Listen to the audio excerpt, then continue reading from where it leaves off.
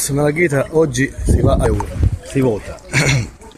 E qua come vedete siamo a Montevago e ah. si ah, va ah, oggi nel Partito Montevago le Democratico. amministrative eh, del nuovo sindaco. E allora il sindaco per l'amministrazione del... Il mio desiderio era pure diventare sindaco, però come avete visto per diventare sindaco ci vogliono soldi.